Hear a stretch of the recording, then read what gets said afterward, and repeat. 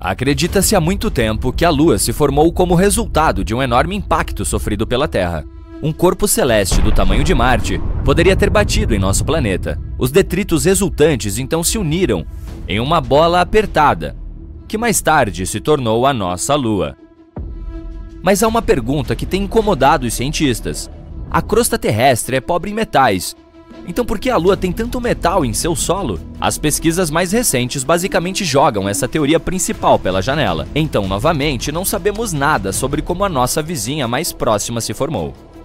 Na Lua, o ferro é preservado em perfeitas condições, porque não há oxigênio. Ele simplesmente não pode enferrujar. Mas há alguns anos, os cientistas fizeram uma descoberta inesperada. Nas regiões mais altas do nosso satélite, o ferro é oxidado e enferruja, no início, essa descoberta deixou os astrônomos perplexos. A presença de ferrugem pode significar que as pessoas podem respirar, pelo menos em certas áreas da Lua. Mas então, a explicação veio à tona. O oxigênio que chegou à rocha sem vida pode ser oriundo do nosso próprio planeta. Na ausência de atmosfera, os ventos solares batem na Lua incansavelmente e nada pode detê-los.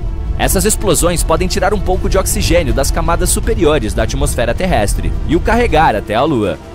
As moléculas então descansam nos pontos mais altos da superfície lunar.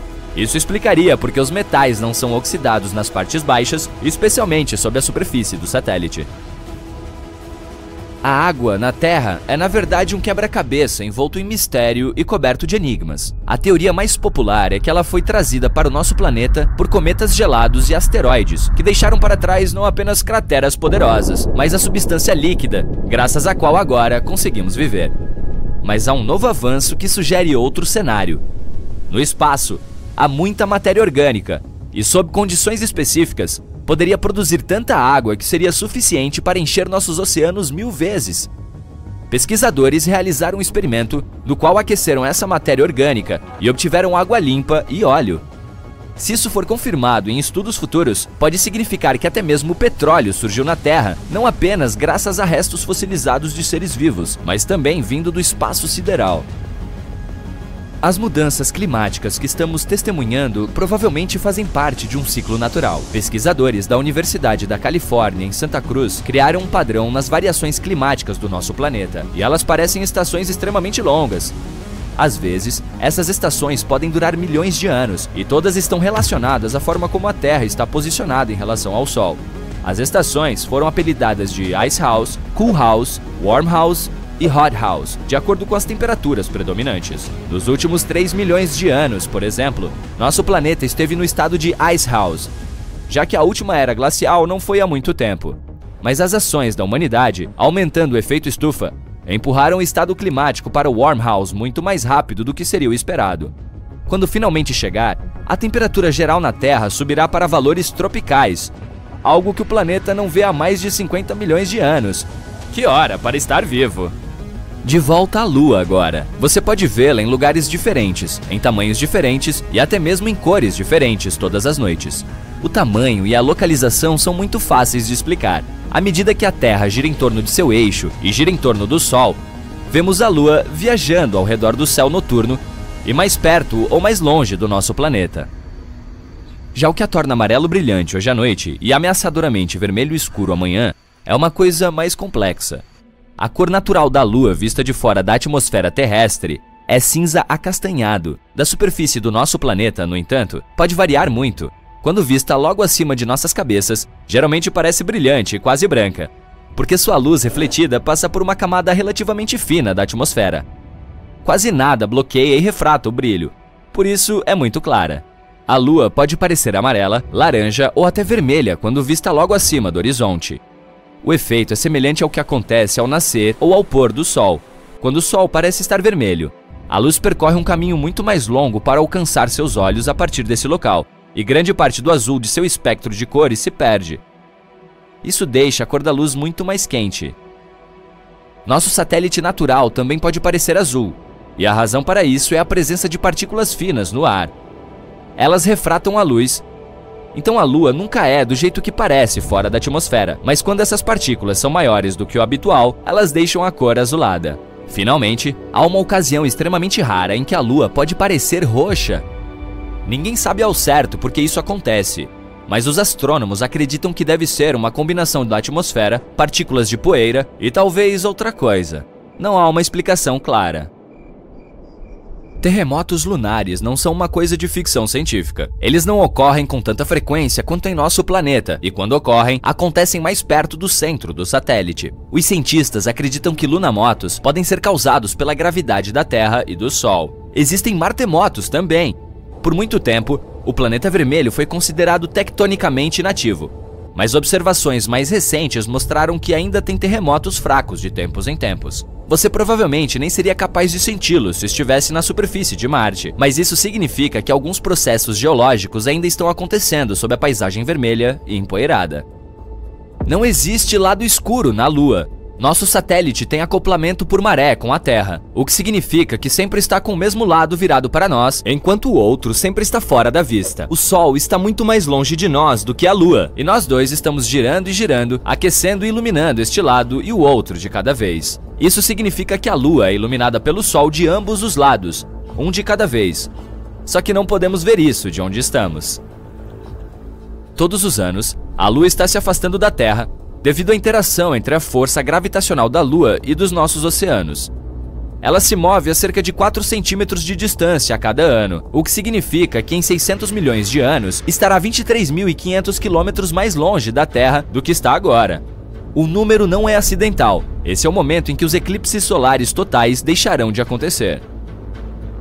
Existe água na Lua, não poças ou lagos, mas grãos de gelo de água existem em partes permanentemente sombreadas perto dos polos lunares. Os cientistas acreditam que a água entrou na Lua há muito tempo, durante um período em que tanto a Lua quanto a Terra eram constantemente atingidas por asteroides e cometas, aqueles que contêm gelo de água. Esse processo pode até ter nos ajudado a obter nossos próprios lagos e oceanos, não apenas a água gelada da Lua.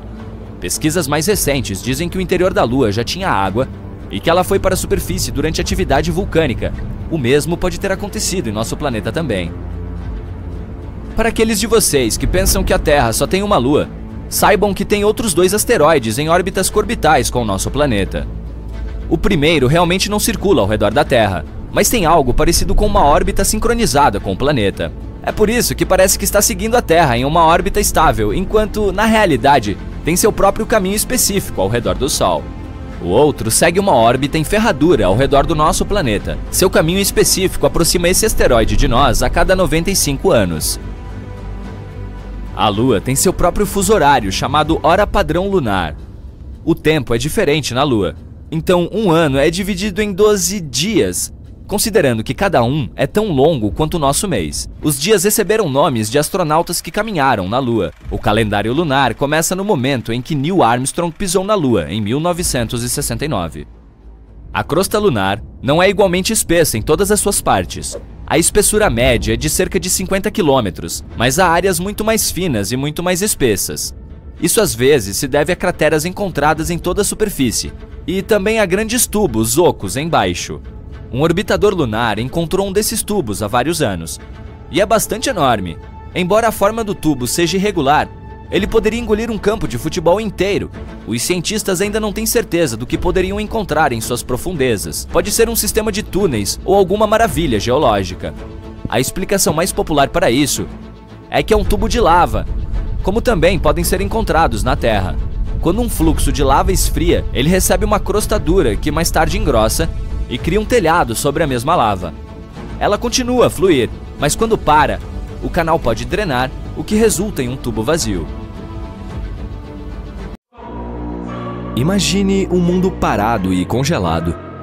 Ele é antigo, cerca de 4,5 bilhões de anos. Mal é aquecido pelos raios do Sol e coberto por uma espessa camada de gelo. É menor que a nossa Lua, mas um pouco maior que Plutão, seu nome é Europa, a sexta lua de Júpiter e uma das maiores do sistema solar. Mas o mais legal desse lugar distante pode hospedar vida. Os astrônomos consideram este um dos locais mais promissores do sistema solar para a busca de novas formas de vida. Tudo porque este satélite tem um enorme oceano de água salgada, com uma profundidade de 65 a 160 quilômetros. Sim, está escondido sob uma camada de gelo estimada em 15 a 30 quilômetros de espessura. Mas ainda é potencialmente habitável, Os astrônomos afirmam que plumas de água irrompem de rachaduras na casca de gelo e liberam conteúdo do oceano da Lua no espaço. Claro, será um desafio para qualquer missão em busca de vida acessar um ambiente tão profundo. Pelo lado positivo, os cientistas já têm algumas evidências de que existem piscinas muito mais rasas que provavelmente ficam muito mais próximas da superfície da Lua. Elas podem estar localizadas a menos de um quilômetro e meio sob o gelo. E há duas grandes coisas sobre esta notícia. Em primeiro lugar, aumenta as chances de vida existente em Europa. E em segundo, se for verdade, pode tornar mais fácil para futuras missões encontrarem essas formas, se houver alguma. Curiosamente, a nova descoberta a respeito dessas piscinas rasas surgiu por pura sorte. O cientista que lidera a pesquisa, Riley Kohlberg, acidentalmente viu uma apresentação de seu colega, um pesquisador planetário. Esse cara mostrou uma imagem de cristas duplas na superfície de Europa, e Kohlberg lembrou-se de ter visto cristas semelhantes na Terra. Mas enquanto tais informações são raras por aqui, elas são muito mais numerosas naquela lua. Os estudos seguintes sugeriram que as cristas na lua de Júpiter podem ser o resultado de um ciclo específico, semelhante ao da Terra.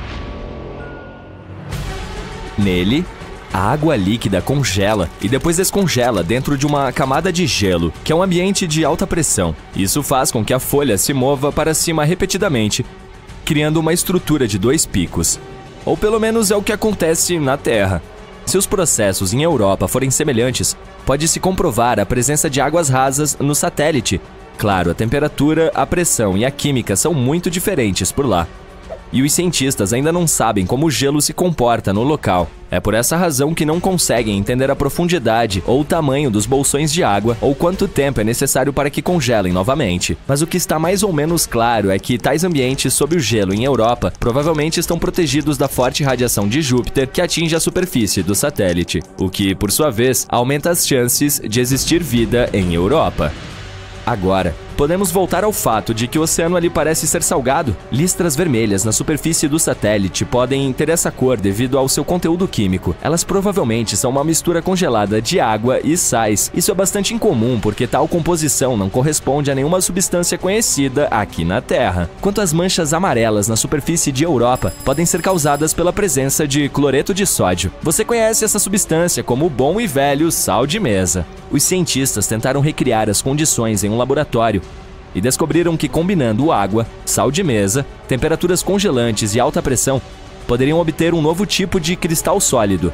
Essa substância pode existir tanto no fundo do oceano de Europa quanto na superfície da nossa Lua. Mas, além dessa informação, os pesquisadores estão no escuro.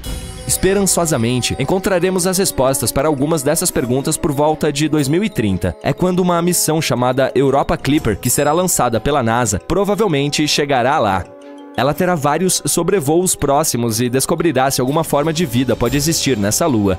O JUICE, ou Jupiter Ice Moons Explorer, da Agência Espacial Europeia, também a visitará nos próximos dois anos.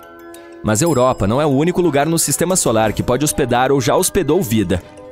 Em 2003, a Mars Express, uma espaçonave lançada pela Agência Espacial Europeia, descobriu metano na atmosfera de Marte.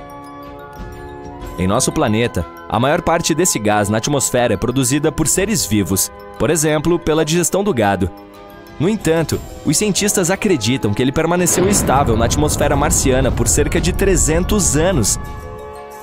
E então, em 2006, desapareceu quase totalmente do planeta vermelho e aconteceu 600 vezes mais rápido do que nos modelos dos pesquisadores. A pergunta: o que ou quem gerou o gás e para onde ele foi?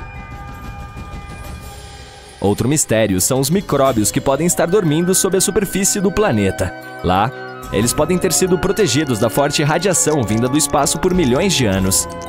Os cientistas simularam as condições de Marte em um laboratório para verificar se isso poderia ser verdade, e ficaram surpresos ao descobrir que as bactérias seriam capazes de sobreviver facilmente em tais condições por 280 milhões de anos, o que significa que, se existisse vida por lá, poderíamos encontrar evidências no subsolo do planeta perfurando o solo. No momento, não há água corrente em Marte e as células ou esporos simplesmente secariam. Além disso, a temperatura da superfície é semelhante à do gelo seco. Em outras palavras, ela está profundamente congelada. E ainda assim, pode haver seis tipos de bactérias e fungos vivendo no subsolo do planeta vermelho. O mais provável é apelidado de Conan, a bactéria, devido à sua natureza resistente. Bem, acho que o tempo vai mostrar. Agora vamos para Vênus. Em 2020, cientistas anunciaram que em sua atmosfera tóxica havia algo que poderia significar a existência de vida. Infelizmente, não havia nenhuma evidência, pois não era possível coletar amostras de micróbios ou tirar fotos da vida extraterrestre. Mas eles apontaram a descoberta de uma substância química chamada fosfina por lá, e isso era um grande problema. Se não fosse alguma química previamente desconhecida que estava produzindo esse gás, então poderia haver algum tipo de vida microbiana envolvida no processo, a fosfina é composta por três átomos de hidrogênio e um de fósforo. Este gás é tóxico para qualquer forma de vida terrestre que necessite de oxigênio, inclusive para nós, humanos. Em nosso planeta, a fosfina pode ser encontrada em locais com pouco ou nenhum oxigênio, por exemplo, pântanos e charcos. O gás é criado por misturas complexas de bactérias que vivem lá. Também pode ser produzido industrialmente. Pensando bem, a fosfina não deveria estar na atmosfera de Vênus. Ela precisa de pressão e temperatura precisas e toneladas de hidrogênio para se formar. Não seria tão surpreendente achá-la em Saturno ou Júpiter, famosos gigantes gasosos. Mas em Vênus, totalmente inesperado. Não há como ser produzida naturalmente neste planeta. Pequenas quantidades dela podem ser geradas durante erupções vulcânicas, tempestades com raios, minerais explodidos na superfície ou meteoritos entrando na atmosfera de Vênus, mas não tanto quanto os astrônomos pensavam ter observado, e esse fato tinha que deixá-los desconfiados, mas estavam muito felizes com a descoberta. Eles provavelmente pensaram que isso significava que poderia haver vida em Vênus, só que mesmo que esse gás tenha sido criado por alguns organismos misteriosos, seria uma grande questão como sobreviveram no planeta. Por aqui, alguns micróbios podem prosperar em ambientes com acidez de 5%, mas não mais. Em Vênus, porém, as nuvens são quase inteiramente feitas de ácido, contendo mais de 90% do sulfúrico. A atmosfera venusiana também é 50 vezes mais seca do que o lugar mais seco da Terra. E, de fato, em 2022, graças a telescópios melhores e de maior resolução, concluiu-se que não havia fosfina por lá. Ou mesmo se houvesse, era uma quantia muito pequena.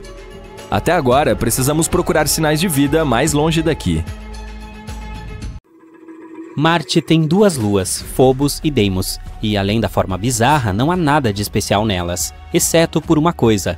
Não faz muito tempo que os cientistas descobriram um estranho fenômeno na superfície de Phobos, mas ainda não conseguiram encontrar nenhuma explicação para isso. Do que se trata? E o que isso nos diz sobre a história do nosso sistema solar? Vamos descobrir. O astrônomo americano Asaph Hall descobriu Phobos e Deimos em 1877. Você sabia que todos os planetas do nosso sistema solar receberam nomes de divindades gregas e romanas? Por exemplo, Marte ou Ares é o famoso deus da guerra. É por isso que os satélites do planeta são chamados de Phobos e Deimos, os filhos de Ares. Na verdade, esses belos nomes têm significados assustadores, medo e horror. Em 1971, o telescópio Mariner 9 da NASA tirou suas primeiras fotos. Foi assim que descobrimos que esses carinhas não eram nada parecidos com a nossa Lua. Eles tinham uma forma bizarra, uma órbita estranha e instável. Além disso, não há outras luas no sistema solar que se movam tão perto de seu planeta-mãe quanto essas duas. Bem, elas são crias dele, afinal. Mesmo muito perto de Marte, se você estivesse na superfície do planeta vermelho, dificilmente conseguiria vê-las. Isso porque a curvatura de Marte esconde Phobos e Deimos de vista. E se você ficasse em algum lugar no Equador, Phobos parecia um asteroide comum e Deimos uma estrela. Tudo porque esses satélites são basicamente migalhas em comparação com a nossa Lua. São as menores e menos brilhantes luas de todo o sistema solar, o que é irônico, considerando seus nomes imponentes. De qualquer forma, parece que tudo deveria ficar bem claro com esses dois satélites. Mas não, existe um problema. Veja bem, os cientistas reconstruíram a história do espaço com base nos vestígios encontrados em diferentes objetos espaciais. Amassados, arranhões, rachaduras, todas essas coisas podem nos dizer o que aconteceu há bilhões de anos. Por muito tempo, os cientistas tiveram certeza de que, assim como seus protótipos gregos, Phobos e Deimos eram gêmeos. Mas então o orbitador Viking da NASA tirou novas fotos deles, e foi aí que descobriram uma diferença significativa entre os dois. Toda a superfície de Phobos estava coberta por enormes sulcos. Era uma série de fossos longos e profundos que se estendiam de uma ponta a outra. Você pode dizer qual é o problema? Todos os objetos espaciais têm esse tipo de relevo neles. E sim, existem outros satélites com ranhuras e depressões semelhantes, mas nenhum com tantos quanto Phobos, que é completamente coberto por sulcos que são enormes, até 19 quilômetros de comprimento e 200 metros de largura. E isso não é tudo. Alguns se cruzam. Isso significa que o satélite passou não por um, mas por muitos eventos traumáticos. Mas o que exatamente aconteceu com ele? Os cientistas ainda não têm certeza, mas algumas ideias. E essas teorias podem nos contar não apenas sobre o passado de Phobos, mas também prever seu futuro. Teoria 1 Impacto de asteroide. Bem, o primeiro suspeito é bastante óbvio. Há uma grande cratera de quase 9 km de largura em Phobos. Ela se chama Angeline Stickney e recebeu o nome da esposa de Asaph Hall, o cientista que descobriu os satélites. Que lindo! Então, assim é a primeira hipótese. Era uma vez um corpo astronômico que colidiu com Phobos. O impacto foi tão forte que deixou uma grande cratera, e o efeito da colisão deixou um monte de sulcos por todos os lugares. Parece lógico a princípio. No entanto, cientistas notaram uma falha nessa teoria e descobriram que esses sulcos na verdade não se formaram dentro da cratera, mas próximo dela. Ou seja, não foi uma colisão que os criou. Além disso, e aqueles que se cruzam com outros? Ou é apenas uma grande coincidência cósmica? Bem, a busca pela verdade continuou. Teoria 2. Phobos é assim por causa dos detritos espaciais. Sim, há uma diferença entre essas duas teorias. Nesse caso, os sulcos não são consequência direta da colisão. Em vez disso, é mais ou menos assim. Algo colidiu com essa lua. O impacto fez com que muitas pedras fossem lançadas ao espaço. Algumas se perderam no universo para sempre, mas outras eram pequenas o suficiente para serem puxadas de volta para Phobos. Passando ao lado dele em um ângulo agudo, poderiam colidir com ele, saltar e assim seguir. E como a gravidade de Phobos é muito fraca, talvez as rochas não conseguiram colar nele. Em outras palavras, foram continuamente puxadas e empurradas por muitos e muitos anos. Esta teoria explica os sulcos que se cruzam. É porque as pedras caíam nesses lugares o tempo todo, Parece bastante lógico, mas tem um outro problema. Não vemos nenhum pedregulho em Marte ou na superfície de suas luas, e todos esses detritos deveriam ser capturados pela gravidade e permanecer em algum lugar na órbita do planeta, ou ainda simplesmente se tornar uma parte de Phobos. Em outras palavras, se isso fosse verdade, encontraríamos evidências dessa teoria sob camadas de poeira. Mas não foi o que aconteceu. Portanto, essa explicação também não satisfez os astrônomos, que continuaram a procurar o culpado. E se os sulcos não têm nada a ver com a cratera Stickney? E se o verdadeiro motivo era outro, como algo ainda mais forte? Poderia ser o próprio planeta Marte? Teoria 3. Marte é o grande vilão. As hipóteses anteriores dizem que Phobos e Deimos eram originalmente pedaços dele. Em algum momento eles se separaram e viraram satélites, assim como a nossa Lua. Mas e se não foi esse o caso? Observações feitas pelo Mars Global Surveyor da NASA mostram que os satélites gêmeos são compostos de elementos encontrados principalmente em meteoritos e asteroides. E se Phobos e Deimos forem asteroides? Há um cinturão de asteroides entre Marte e Júpiter. Dado o tamanho, a forma e a composição de ambos, os cientistas sugeriram que podem ter pertencido a esse cinturão um dia. No entanto, em dado momento, eles saíram voando e a gravidade os puxou para Marte. Esse fenômeno é chamado de captura de asteroides.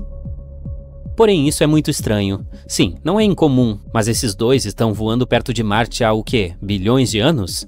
É estranho que suas órbitas tenham permanecido as mesmas. Além disso, a atmosfera do planeta é muito rarefeita, por isso dificilmente poderia capturar asteroides. Em teoria, eles deveriam ter se separado de Marte na primeira oportunidade. No entanto, não foi o que aconteceu. Isso significa que, de alguma forma, ficaram presos e Marte imediatamente começou a destruí-los. Sim, uma reviravolta inesperada. Nessa versão, o planeta acaba se tornando um vilão. Ao estudar o passado, encontramos algumas evidências de danos futuros. As misteriosas ranhuras de Phobos podem ter sido causadas pelas forças de maré entre ele e Marte. A Lua e a Terra também têm isso, ambas sofrendo ligeira distorção. Mas como Phobos está muito mais perto de Marte, o impacto das forças gravitacionais é muito mais forte. Em outras palavras, a gravidade de Marte está gradualmente destruindo Phobos. A cada 100 anos, o satélite fica quase 2 centímetros mais perto de Marte. Ele também encolhe até 20 metros, ficando ainda mais frágil e fraco. Quanto menor se torna, mais as forças de maré o impactam, criando estranhos sulcos e ranhuras. Sim, em algum momento em 30 milhões a 50 milhões de anos, essa lua irá colidir com Marte ou se desintegrará e se transformará em um monte de pequenas rochas. E então Marte também terá anéis como Saturno e Netuno.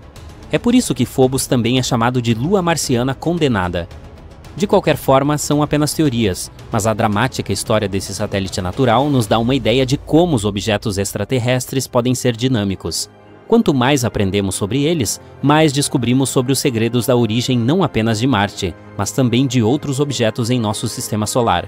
Se um dia realmente colonizarmos Marte, estudar suas luas pode nos ajudar muito.